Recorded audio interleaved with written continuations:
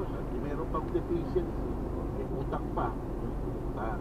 Pero ang pinakamahalaga po, walang automatic na pagiging may-ari ang nagpautang. Parating ipapublic auction ang collateral o ang ah, prenda o sangla na lupa.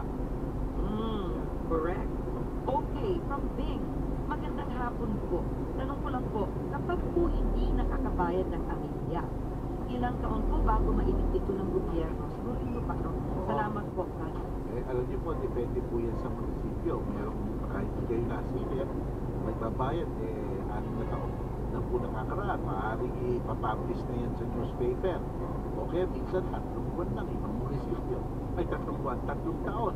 Di ba po? Depende po yan kung gaano kahigpit at gaano ka-liberal ang mga munisipyo, ang mga local government.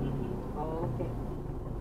Oh, sabi ni Boy Sam, ang sabi ng Pangulo, iba daw pag may may delay sa mga papeles, ipaalam lang sa Malacanang. Nagre-react yata siya dun sa ang tagal-tagal nang hinihintay. Tama. Title or whatever you cross the scene, di ba?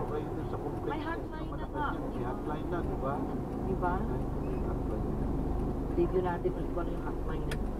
Ano po ang dapat gawin kung ayaw magbigay ng certificate of file action ng barangay dahil yung barangay secretary ang inireklamo ng Okay, eh, si, si Barangay Captain ang pumirmahin nyo. Siya po dapat. Secretary pala mismo. eh.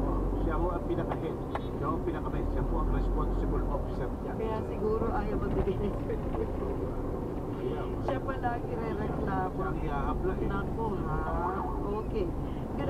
Po. Attorney at Ma'am Gladys. Allowed po ba sa isang company na gumawa sila ng isang policy? Ganito po. 8 to 5 ang pasok natin. Monday to Saturday. May grace period nga pero ibinabawas pa din sa sweldo namin. Hindi ba wala din yung grace period, di ba? Ano yung sabihin ng grace period? Ganito yan. So, kung 8 to 5, okay, naliit ka ng 15 minutes. Parang magtatakda sila na, okay, parang hindi, parang hindi ka considered late, ah, may grace period ng 15 minutes. Lalo na kung halimbawa, ang banding clock nito, eh, pa sa ilang floor pa o whatever. Pero kaso daw sa kanila, binabawas sa mali, mali daw, Tama nga. yung grace period, siguro nababawasan sila pa rin or being late. Siya wala silbi.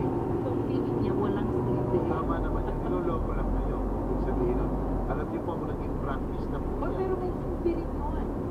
Kasi di ba, may mga ibang company, okay, sample lang nun, Okay. na pag three succeeding uh, days ka o three magkasunod-sunod na Ah, meron kang penalty like suspension or something.